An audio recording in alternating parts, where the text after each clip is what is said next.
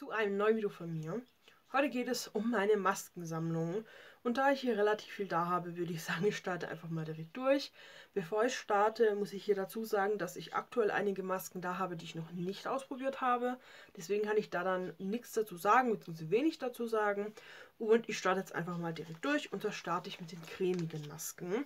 Und da habe ich hier zu einem von Lovos die Heilerde Anti-Pickel-Maske, die finde ich ja super. Die ist für fettige, unreine Haut und wenn ich wirklich da mal Probleme habe, dann kann ich halt immer zu der zurückgreifen. Habe ich jetzt aktuell einmal da, verfeinert das Hautbild und da bin ich auf jeden Fall sehr froh, dass ich die nochmal da habe. Dann habe ich hier viermal von Schäbens die Todesmeerschlammmaske. Auch das ist so eine Maske, die ich immer ganz gerne da habe. Reinigt intensiv gegen Pickel und Mitesser, finde ich super. Funktioniert bei mir gut, vertrage ich gut, hilft gut gegen Unreinheiten. Die trocknet eben auch an und dann kann man die halt eben abwaschen. Sowas verwende ich dann ganz gern, bevor ich duschen gehe, weil man das dann einfach unter der Dusche schön abwaschen kann und nicht die Sauerei hat im Waschbecken. Finde ich auch genial. Und dann hatte ich seit langem mal wieder hier diese Bubble Cream Maske mir gekauft gehabt von The Beauty Mask Company. Und die ist mit weißer Ton erdend Apfel und die finde ich halt super. Also die schäumt halt so auf. Und ich finde die reinigt die Poren sehr schön. Ich finde die angenehm vom ähm, Trageeffekt oder vom Tragegefühl her. Und ähm, finde die auch von der Wirkung her super. Also die mag ich auch sehr gerne. Dann habe ich leider jetzt nur noch einmal die Lemon Cupcake Maske hier. Das ist eine LE gewesen von Müller, von Cadea Vera von vor zwei Jahren, glaube ich. Ist mit Zitronen- und Vanilleextrakt, Tonerde, Scherbutter und ähm, soll eben klare, feinporige Haut machen. Und ich mag die auch super gern. Das ist eben auch eine Maske, die antrocknet. Zu allem hat die einen super tollen Duft, aber die hat auch eine super Wirkung. Also ich mochte die wirklich, wirklich gerne. Und bin sehr traurig, dass ich jetzt da nur noch eine davon da habe. Dann habe ich hier einmal die Totes Meer Maske von Cadea Vera. Das ist eine Maske, die eben speziell auch eben die Poren reinigen soll und die mag ich eigentlich auch ganz gern. Tonerde, Eigenextrakt und totes Meerschlamm. Da kann man wirklich nichts Schlechtes dazu sagen. Die ist relativ günstig mit, ich glaube, unter 50 Cent auf jeden Fall. Und äh, das ist eine doppelte Anwendung. Also ich mag die sehr gern. Finde ich klasse. Dann habe ich hier zweimal, die finde ich auch super, die sollte ich jetzt vielleicht auch mal verwenden, die hautklärende Maske. Denn das ist eine Maske, die kühlt auf der Haut. Biominze, Mineralerde und totes Meersalz. Die ist eben sehr frisch, die kühlt auf der Haut, wie gesagt. Und das ist im Sommer natürlich genial. Äh, die habe ich eben, ja, vier Anwendungen, also 2x2.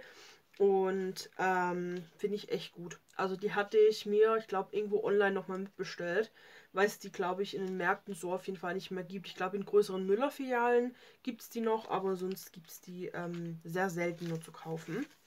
Dann habe ich hier einmal von Schädens die Erdbeer-Peeling-Maske. Drei-Phasen-Peeling mit AHA und die mag ich sehr, sehr gern. Die mag ich wirklich gern. Es ist eine tolle Peeling-Maske. Und ähm, die macht auch wirklich was mit der Haut, wie ich finde. Und es gibt jetzt von Müller die Strawberry AHA Peeling Maske. Die soll sehr ähnlich sein. Ich bin gespannt. Ich habe die hier von Müller noch nicht getestet. Und ja, bin gespannt, wie die sein wird. Vielleicht mache ich da mal einen Vergleich. Schreibt mir das, falls euch das interessieren würde. Und ja, die habe ich auf jeden Fall einmal eben da. Dann einmal hier diese ähm, relativ neue von der Beauty Mask Company, diese Sorbet-Creme-Maske Vitamin Boost für jeden Hauttypen. Hat eben so eine Sorbet-Textur und da bin ich sehr gespannt. Die packe ich aber auch wieder in den Kühlschrank, weil ich stelle mir das sehr angenehm vor, äh, wenn man so ein bisschen ja draußen war und aufgeheizt ist und das dann aus dem Kühlschrank rausholt. Sehr, sehr cool. Dann ebenfalls wieder Produkte, wo hauptsächlich in den Kühlschrank wiederkommen. Einmal diese Hydrogel-Augenmaske. Äh, Ice Cube von Müller. Die hatte ich ja schon einmal aufgebraucht. Habt ihr vielleicht im Aufgebraucht-Video gesehen. Konnte ich nicht wirklich viel zu sagen. Ich kann mich nicht mehr erinnern, ob die richtig gut war oder richtig schlecht. Sie war auf jeden Fall okay, sonst hätte ich es mir gemerkt. Und die kommt aber, wie gesagt, auch wieder im Kühlschrank. Dann habe ich hier einmal diese Augen- und Lippenmaske. Ähm, die wollte ich eigentlich eher so als Augencreme verwenden. Ähm, muss mal schauen, ja, wann ich dazu mal greife. Aktuell, ähm, ja, habe ich die jetzt noch nicht benutzt. Dann Lippenmasken habe ich hier dreimal von Balea diese normale Hydrogel-Lippenmasken mit Hyaluron und Mandelöl. Zack, gepflegte Lippen, die mag ich ja super, super gern. Wie gesagt, dreimal habe ich die da. Ich finde die ist einfach gut. Also die fühlt sich gut an, die hält gut, die pflegt wirklich die Lippen auch schön. Also ich mag die gerne, habe ich eben auch im Kühlschrank. Genauso wie diese beiden hier. Einmal aus dieser Anadessie-Reihe die Hydrogel-Lippenmaske mit Perlenextrakt, Hyaluron und Meerwasser. Und einmal die Hydrogel-Lippenmaske mit Algenextrakt. Ähm, ja, bin ich sehr gespannt. Ich denke, die werden vom Prinzip her gleich sein wie die aus dem Standardsortiment, nur halt eben ein äh, bisschen andere Inhaltsstoffe haben. Und dann habe ich hier einmal noch die von Müller, die Juicy Grapefruit. Da habe ich auch im Aufgebrauchvideo schon so ein bisschen was dazu gesagt. Die färbt leider ab. Also die ist so äh, pinklich-orange von der Farbe her und die färbt leider ab auf die Haut. Was ich nicht schön finde, aber ich werde jetzt die noch aufbrauchen und dann habe ich die auch weg. Und dann einmal ein bisschen besonderes Produkt und zwar diese Maske hier von Isana Hydrogel Dekolleté Maske. Beauty Summer mit Hyaluron und Kollagen. Spendet intensiv Feuchtigkeit. Super interessant, werde ich auf jeden Fall bald mal verwenden. Äh, ich bin gespannt, wie groß die sein wird und ob die denn was macht. Also so für die Haut. Bin ich sehr gespannt drauf. Packe ich aber auch in den Kühlschrank. Ich denke, das könnte ganz angenehm sein. Genau, das waren dann die Masken. Und jetzt würde ich sagen, kommen wir zu den Tuchmasken.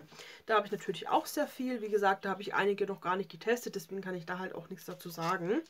Einmal habe ich hier diese neue Niacinamid-Tuchmaske Skin Booster, strafft und festigt die Konturen, schenkt ein ebenmäßiges Hautbild mit Vitamin B3, Allantoin und Hyaluronsäure. Einmal diese hier.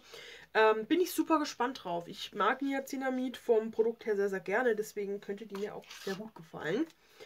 Dann einmal ähm, diese Summer Dream Tuchmaske, die gab es bei meinem DM reduziert.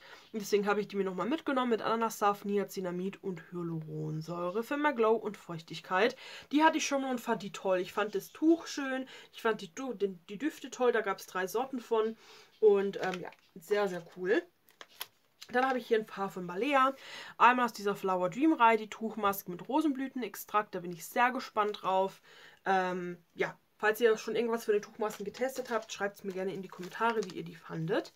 Dann einmal die Tuchmaske Fruity Peach. Die ist mit Pfirsichextrakt und Hyaluron. Sehr cool. Einmal diese Be Wonderful mit äh, Hyaluron und Pfingstrosenextrakt. Genau. Dann eben auch wieder hier die beiden von dieser des CLE. Einmal die bedruckte Tuchmaske Melone, nee, Meerwasser Hyaluron Perle und einmal die mit Alge Hyaluron und Perle, äh, Alge Hyaluron und Meerwasser so.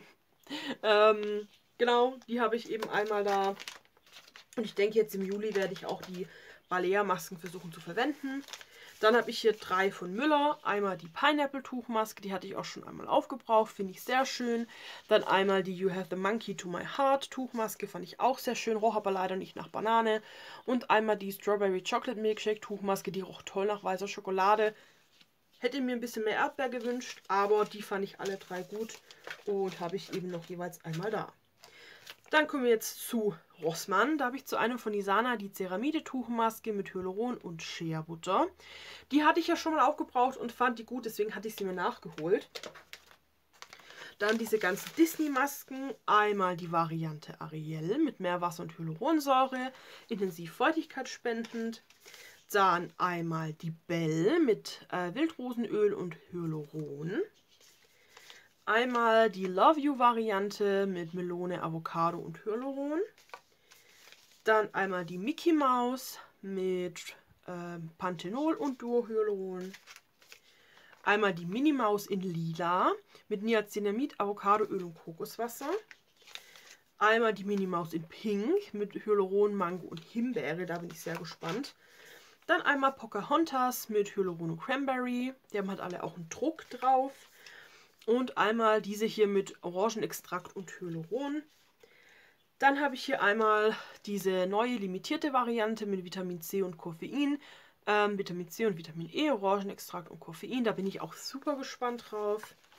Dann die ähm, Exotic Party Tuchmaske aus der 25 Jahre äh, Isana LE äh, mit Hyaluron, Vanilleextrakt und Kokoswasser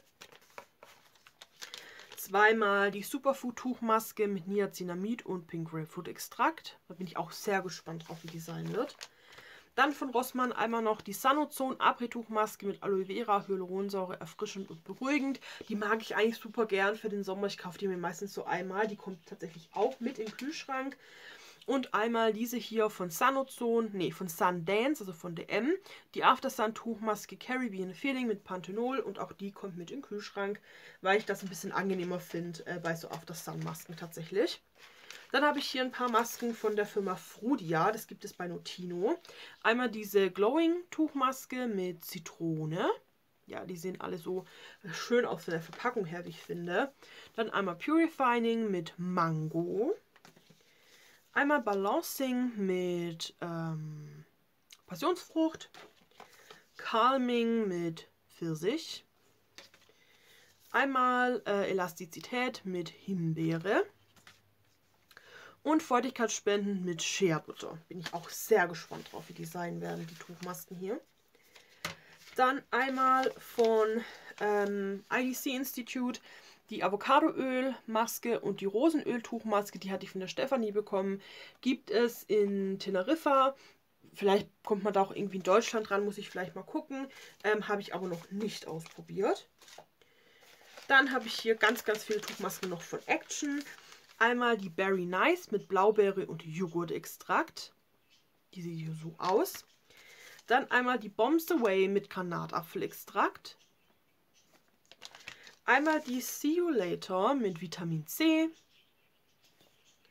Dann die Feeling Nuts mit äh, Mandelöl. Da bin ich sehr gespannt. Ich liebe ja so Mandelprodukte. Dann Let's Avocado mit Avocadoöl und die Wild Thing mit Wildrosenextrakt. Dann von der Beauty Department habe ich hier einmal noch die Kaktustuchmaske. Die ist, glaube ich, jetzt relativ neu. Dann einmal Pineapple. Die fand ich gut. Die fand ich sehr gut. Die hatte ich auch schon öfters. Dann Coconut. Auch die finde ich super. Deswegen habe ich die auch noch einmal da. Und diese Avocado, die habe ich noch nicht probiert. Und ebenfalls, ähm, diese habe ich noch nicht ausgetestet. The Beauty Department Ain't Nobody Butter Than You mit Shea Butter. Bin ich auch sehr gespannt. Die soll sehr feuchtigkeitsspendend sein. Ja, und das waren auch schon meine ganzen Masken, die ich da habe. Ähm, aktuell geht es tatsächlich von der Zahl her, würde ich sagen. Ich habe aktuell 67 Masken da. Und im Januar dieses Jahr, wo ich das letzte Mal die Sammlung abgefilmt habe, waren es 70. Also habe ich drei an der Zahl weniger. Also finde ich eigentlich ganz gut. Ich bin auch weiterhin natürlich im Aufbrauchen. Wie gesagt, den Monat werde ich mich wahrscheinlich so ein bisschen um die Balea-Masken kümmern. Und dann im August werden wahrscheinlich die Gisana-Masken mal dran glauben. Und genau, ich hoffe, dass euch dieses Sammlungsvideo hier gefallen hat. Ich wünsche euch auf jeden Fall auch noch einen wunderschönen Tag. Macht's gut und bis bald. Ciao.